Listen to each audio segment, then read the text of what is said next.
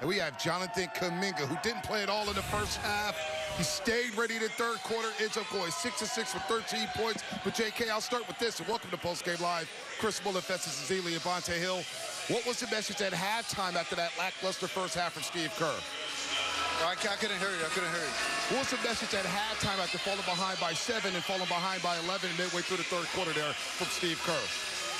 I still can't hear you the right way, though. It's all good. Talk about your game, JK. Just talk.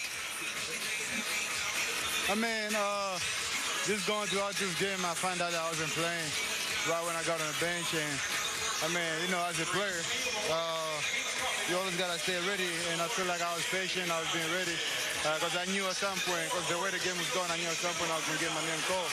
So I was, I was just, I was just staying ready, and things happened after that. JK, what was your mentality when you got into the game tonight? I mean, uh, I had same mentality as always, just coming out here, uh, playing for my team, helping them win. Uh, that, that wasn't the case going uh, when the game started, but I kept the same mentality, and I just came out and finished the, the game the right way. JK, you've won four in a row at home now. What from these last few games can you take on the road Friday to Oklahoma City with you?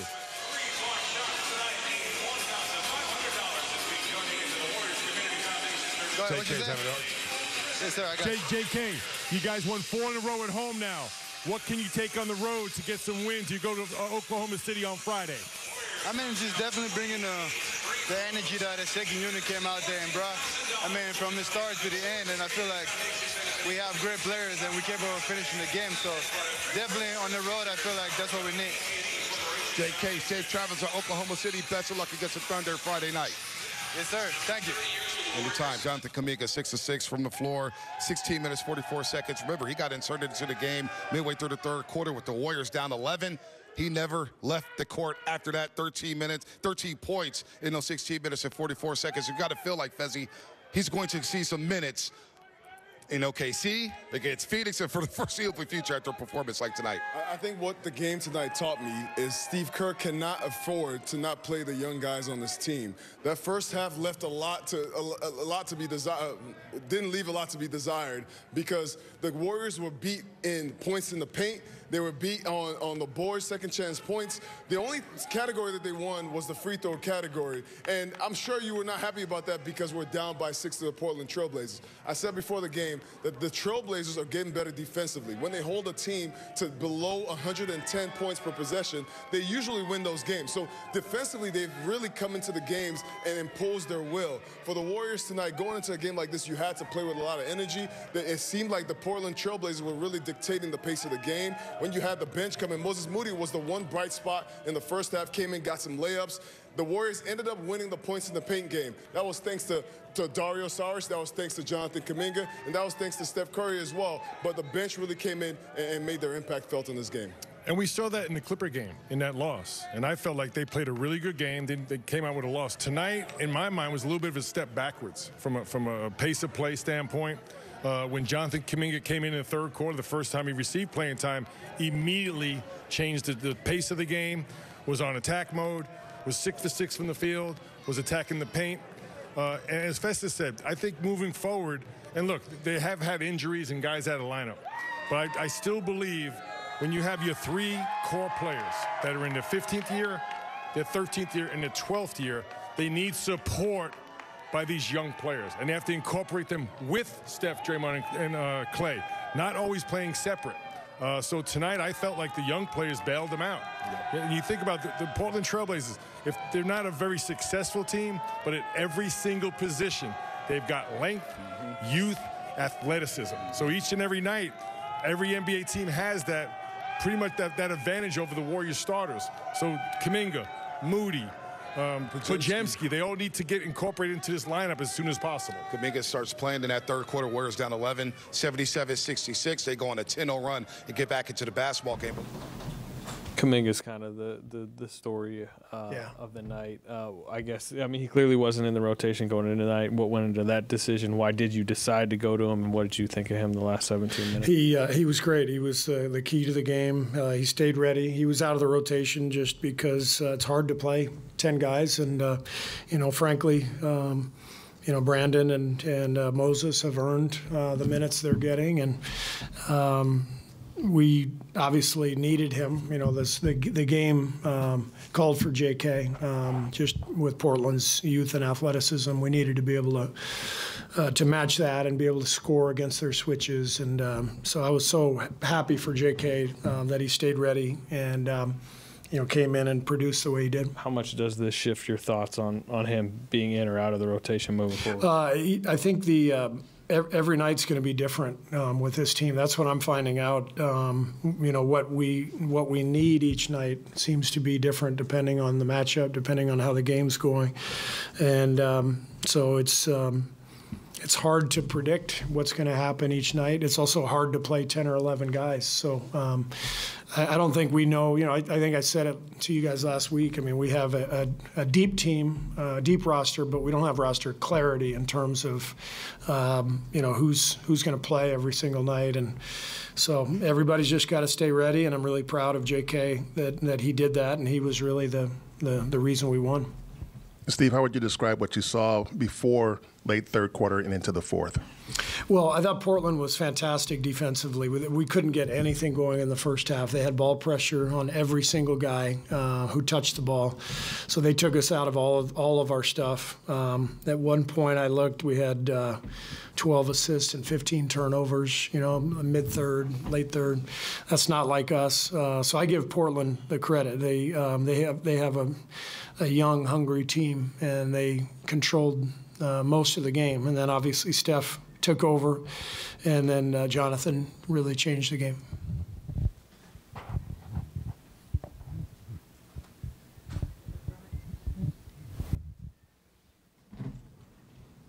You have now the next four games away from home, and obviously playing at home gives you that upper hand with your fan base. It hypes up your guys. How are you guys planning on going away basically for the next four games and trying to keep this momentum going, keep the wins yeah, it's really, back. It's, it's, really just about the process and, and you know our our goals each game, our focus. Um, we're really focusing on defending without fouling so that the game can keep going, which plays into our favor and. Uh, and then taking care of the ball. And uh, Portland forced us into a lot of turnovers tonight, but we did a better job uh, the fourth quarter of uh, of uh, taking care of it and executing. So um, when we go out on the road, those are the things we focus on, and we're playing really good teams, so it's going to be a difficult trip. Steve, it feels like these athletic teams have given you problems all year. Do, do you feel like when you go against a team going in now, you you kind of know we just got to we got to play our maybe our athletic lineup or whatever the case may be. I mean, I think that's a that's a great point, um, and we talk about it every day. Um, you know, we we i have really been um, patient and hoping to get our first unit, you know, from the last couple of years um, into a good groove. It's just easier to play and to coach uh, when everybody knows exactly where they fit in. And uh, role players, uh, it's easier to play a role when you know the, there's kind of a set rotation and you know the the stars are playing well and all that. So everything, you know, the puzzle kind of fits. So to be honest, the puzzle hasn't fit this year, and we've had a lot of guys playing well, but um, we we may have to think about you know moving the the starting lineup around game to game depending on who we're facing. I'd still prefer to get something solid, but um, we haven't really established uh, anything this year, and and. Uh, you know, we're a quarter of the way through, so there's definitely, uh, you know, a lot of thought that's going to have to go into this.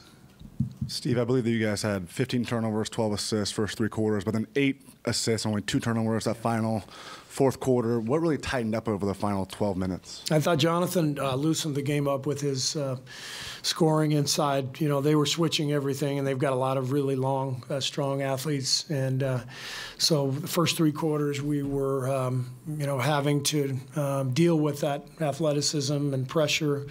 And, um, when JK came in, it loosened up the pressure because he was able to get to the rim and score.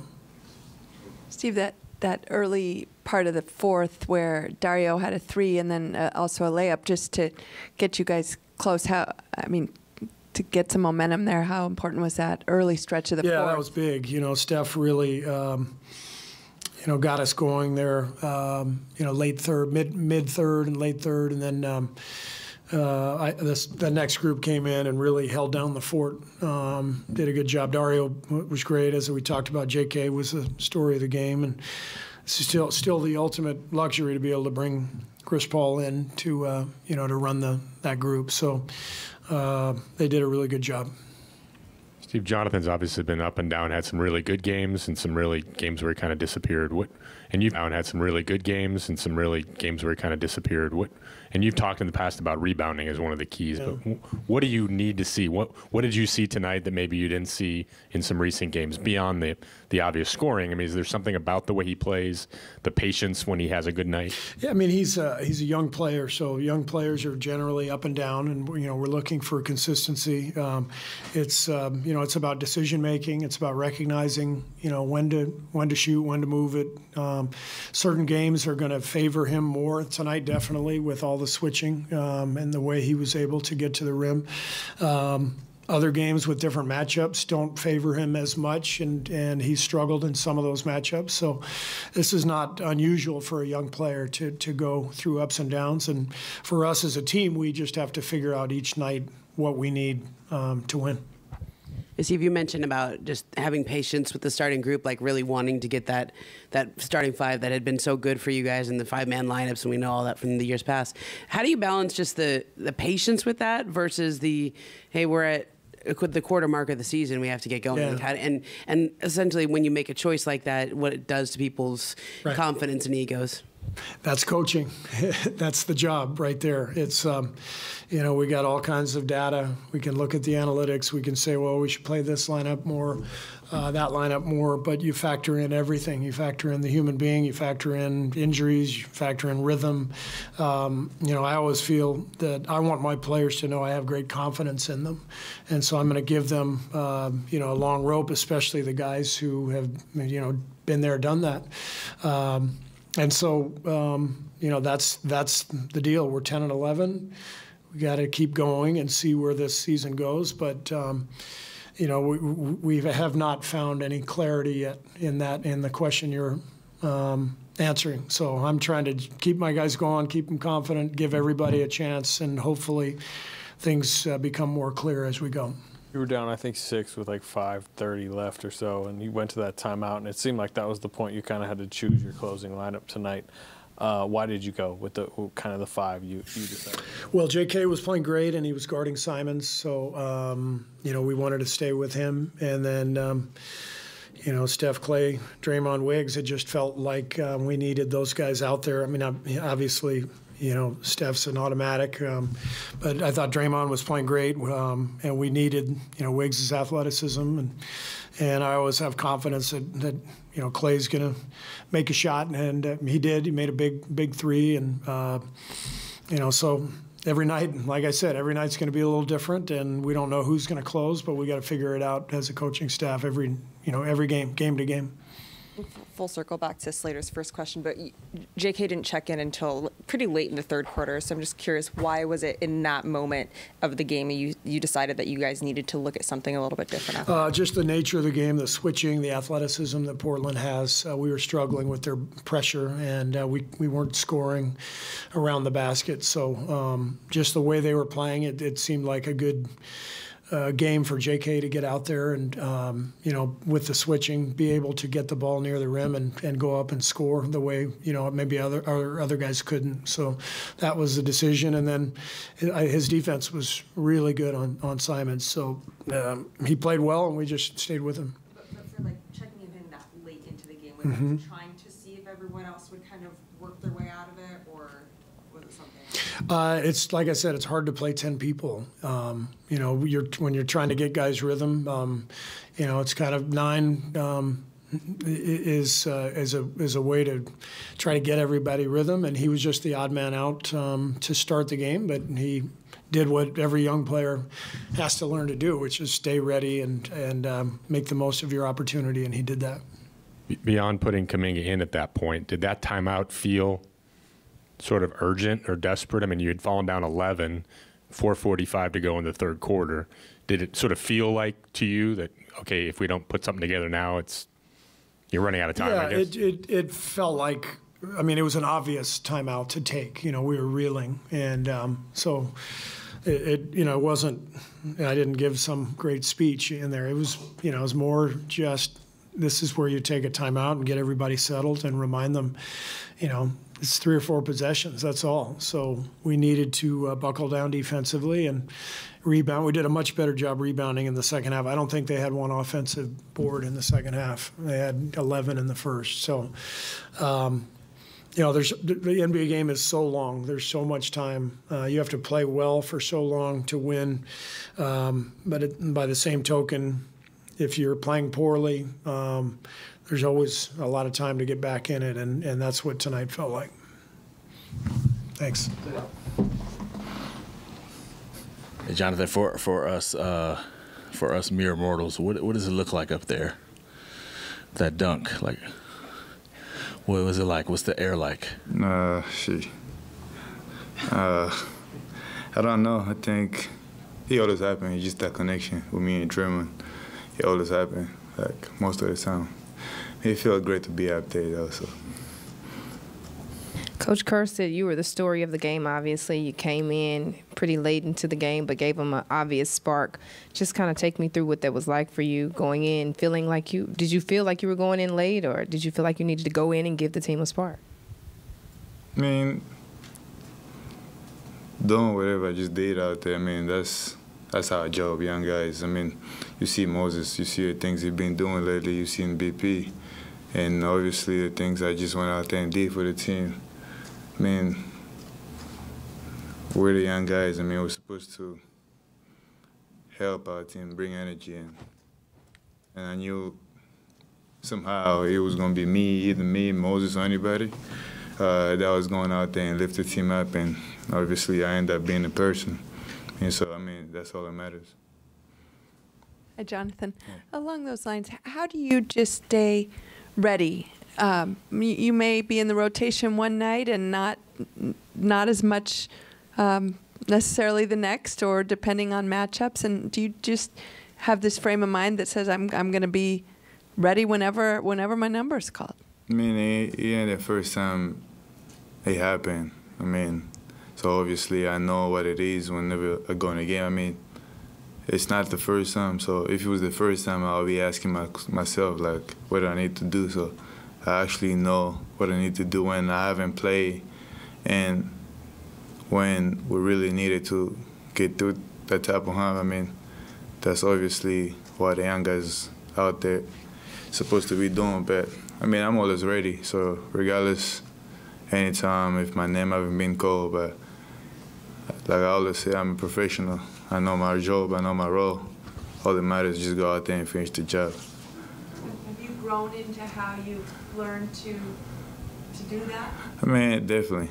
I'm gonna keep it real, definitely, because my first year, I really, I was just surprised, but it's just a learning experience. I mean, we all we all go through that phase. Uh, so I'm obviously, I, I obviously grew out that, and I know what it is. So that don't phase me at all.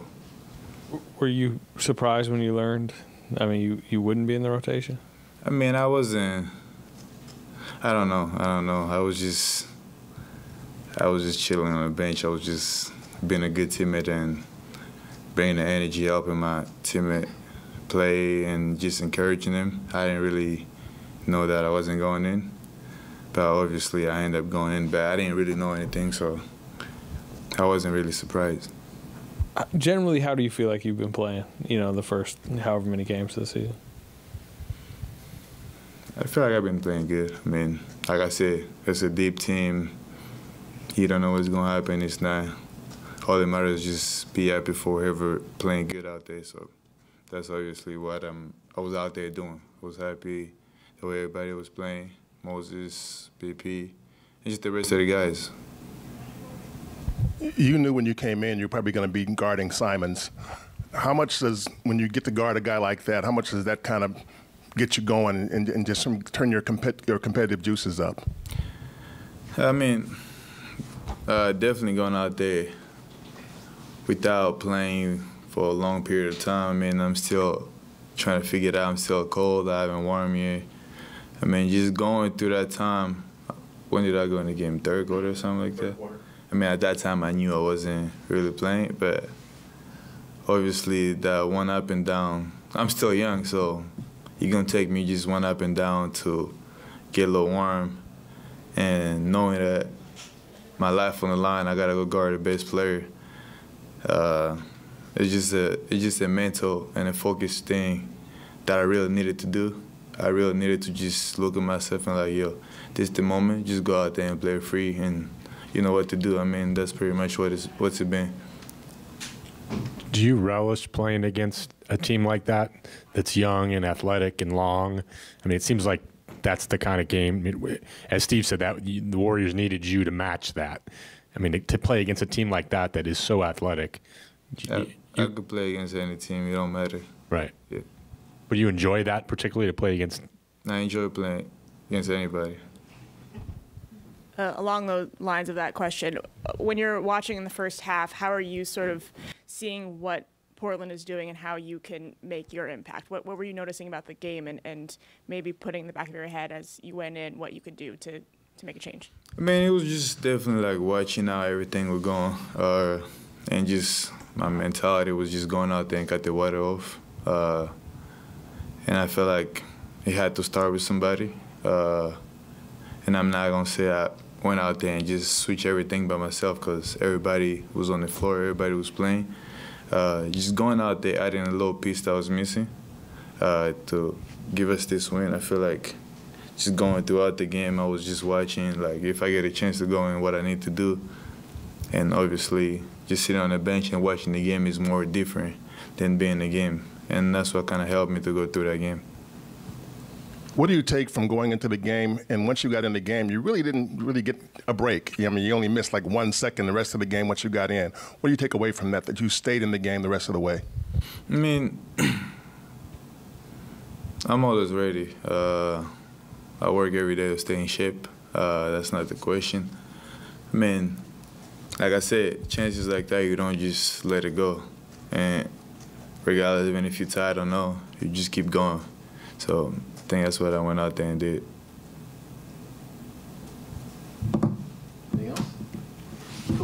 Thank you. All right. All right, Steve Kerr mentioned about mentioned the young guys, right? And Podziemski and Moody said that they earned their minutes. And JK's got to earn his minutes, but he was proud of him the way he stayed ready. How does JK earn a permanent spot in the rotation? I mean, you have to keep approaching the game. Jonathan Kuminga has to keep approaching the game like he did tonight. He came in, there was an instant energy for this Warriors team offensively. They went on a 10-0 run immediately when he came in the game when they needed a bucket. And so with him coming in the game, running the floor, getting easy layups, he's an athlete, so you saw the dunk earlier. Things like that for him are really important to this Warriors team because we talked about this in the pregame. This team has the lowest dunks. I think it's the lowest dunks in the NBA right now. So that is a, just a, a reflection of the athleticism of this team right now. So he is a guy who is an athlete that this team needs to defend people, to defend the, the other team's best players mm-hmm. as well. So his impact is going to be needed. For him, it's about coming in and showing that every night. Yeah, and the NBA in general is a, a, much younger league than it was just five years ago. So with youth comes speed, athleticism. These players have incredible length. That's why I said what I said about Andrew Wiggins. He's the one guy that can match up one-on-one pretty much with any player athletically in the league. Jonathan Kuminga is another. Uh, and this, this Warriors team has really, you know, won hung banners and won championships with total team play and rhythm and flow, but with pace of play. Last year, they were second in the league in pace. Mm-hmm. This year, they're 13th or 14th. That has to change. When you play small, the one thing you have to do every night is dictate the pace of play. Uh, Portland was able to play at their pace for the most of the game. Uh, the last five minutes, Steph took over. But really, the, the deciding factor in this game was Jonathan Kuminga, sitting the entire first half, coming in with a clear head, uh, and really putting his imprint on his game. So you ask, what can he do? Right that's that's a good step forward. And with that small ball lineup, you see him play the entire fourth quarter. Him and Draymond Green on the back line. I like play that. the small ball I like five. I do like that a lot. And I like the way Moses Moody has played the Stay last three ready nights. so you don't got to get ready, no Moody. Doubt. 15 points a game, 48, 48.5% from the floor and 30% from three, but he's got some great looks there. He's said it by with the pride of Yale University, Zena Keita. Moses got the win at home. Feels good, especially against a team that's been young, long, athletic. I think what is a team that the Warriors have struggled with against this season. What allowed you guys to pull out the win against this team? Uh, resilience. You know, we went down a little early, uh, came together as a team, figured out what we need to do, and we did it. Yeah, and then when you think about your performance, when you came into the game in the first quarter, I saw you kind of jumping around, getting a little bounce, you know. You've been having a really great stretch with your games and, and your, your ability to come in and make some plays. Talk to me about what you wanted to get done tonight mm. as far as being able to have an impact on this game. Yeah, uh, I mean, sitting on the bench early, I could see we needed that spark more than anything. Um, you know, we they were they were running around, picking up full court, getting rebounds. So I mean, we got guys that can do that too. So I just felt I felt like that was my that was my role. Now, speaking of guys that can do that too, hustle points. I want you. I want to play a little game with you. Right now, there are two Warriors players that are top 10 in charges taken in the league. Can you name the two? Um, I'm gonna go me. No, me. Name the two. uh, me and BP. Close. Draymond first, Draymond. and then BP. Ah, okay. But you are quickly rising up the ranks. Okay. This seems like it's a really important thing to you. I remember you saying that you used to get a dollar mm-hmm. for every single charge you took. Yeah. What's the motivation now? Um, I mean, you know, that was kind of the foundation of it. So, you know, a lot of times too, like, I, like you'll be guarding somebody and you guarding them really well, and they genuinely knock you over, like yeah. when they run into you like that sometimes. But uh, I mean, as a def- as a defender, there's only so much you can do. Rather like the rule book, and you know what, what, what what's a foul, what's not a foul. So sometimes you just got to take what they give you, and that's the charge. I love the, the downhill. This is like a scouting thing. You knew Scoot Henderson was going downhill. Get in front of him, getting that charge. I do also want to ask you, give me a little bit of insight on how you feel about Jonathan Kuminga's performance tonight, knowing that he came in in the third quarter and was able to go six from six from the field and really attack Portland. What did you see out there of your teammate? Yeah, yeah. Like I said, we got guys that can play like that too, and he's one of those guys. You know, he's athletic, just like they was, uh, putting a lot of uh, putting a lot of pressure on the rim. Mm-hmm. You know, high flyer. You saw the lob he caught. Um, just active. We got we got we got a we got a unit. I mean, we got different guys within the within the team. You know, that can bring different things to the table, and he definitely brought his. One thousand percent, and you did too. Your deflections, your athleticism, your length. You definitely saw that on display tonight. Congratulations. Enjoy the win. For sure. Thank you. No problem.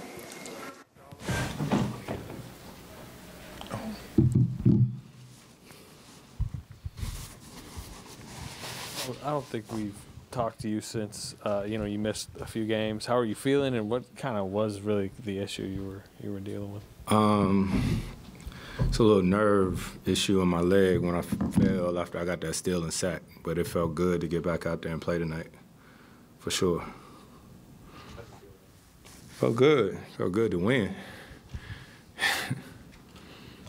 what do you think about um, what J.K. did once he got in the game tonight? Man, that was huge. You know, um, our team, we just been sort of up and down all season with different guys in and out the lineup. You know, um, we missed Dre for some games, missed Steph for two games, had everybody in sacked, and me and GP go down. So it's just sort of been next man up, and uh, I think J.K. showed a, a, great deal of professionalism, you know, and not playing early and coming in, he changed the whole game. Did you hear uh, what the commissioner said today about you and Scott Foster? Did you hear catch those comments? What did he say? He's talked to y'all, and you know he thinks you guys going to be professional and yada yada yada. And he said he talked to us. Yeah. Nah. He said there's been talks. Yeah. Nah, ain't nobody called me since since all that happened. Did you, you did you expect? No, the league. Yeah, I mean, usually sometimes they'll call, interview you, something like that. Ain't nobody texted, called, or nothing since it happened. So. Did you actually see what he, the, the, the comments he made? Yeah, I got a family. I got a whole family. So you when know, you saw them, the what was your reaction when you saw that? You're like, uh, uh I don't know. I was. I haven't talked to Adam, Byron, nobody. You know what I mean? I talked to Byron, but I had to call him. He didn't call me. So, yeah. I don't know. It's weird. You, yeah. Do you expect anything to change? I don't know. Ain't nothing ever changed. You know what I mean? As far as that, but he's what he say? We gonna talk about it, or we did? Sounds like he said that you guys, there's been talks. Nah, I missed that. Yeah, I missed that, but I I'm. don't know if he was referring to like how long ago or anything. Oh, some years ago there was, you know, a meeting with my dad and all us, but uh, I don't know. We we talk pretty often, so I figure we'll talk some point. Uh, Chris, over the last few weeks, it seems like the younger guys or the younger group have kind of been a spark in a few of these games. I know Coach Kerr has said that a few times. But in those weeks, when asked about it, they always say that you are a vocal leader in the locker room, on the floor. What is it that you're like saying to them to keep them ready? Because obviously, like you said, J.K. was very professional. He said he had to be ready when his name was called, and they credit you for a lot of Nah, that leadership. That that ain't me. You know what I mean? I'm obviously always talking about things that I see or um, you know, we I think we got a great balance of young guys and veteran guys who sort of know situations, but you need those young guys who just going in there playing with reckless abandon. You know, Mo's energy early in the game, BP, what he's done for us off the bench, and you saw what J.K. had a had a chance to do tonight. So I think the great balance and blend of both is is what has the opportunity to make our team special. Chris, Steve said, you know, approaching the quarter mark of the season, the puzzle still hasn't fit. He said the rotation honestly might have to be a night to night basis. He even said the starting lineup might have to be on a night to night basis. How is that is that difficult and, and how just how is that being 20 games into the season and starters rotation all of it kind of seems up Just air? trying to stay ready. You know, whatever whatever it is. Just uh, I think this new for a lot of people, for everybody on our team. So just trying to stay ready. How critical is Jonathan against a team like this, against many teams who are young and long and athletic?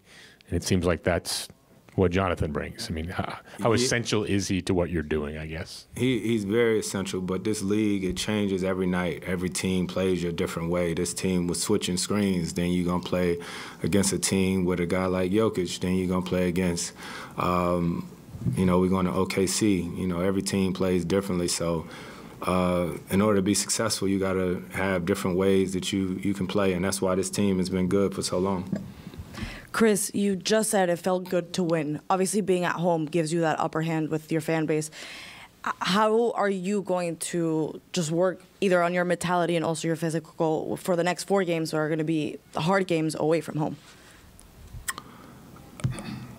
Just get ready for them.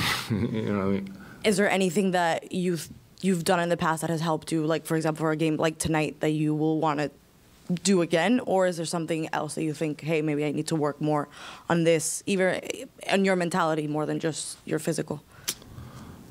Not really. Um, uh, I think our, our first unit is trying to get us off to, to better starts.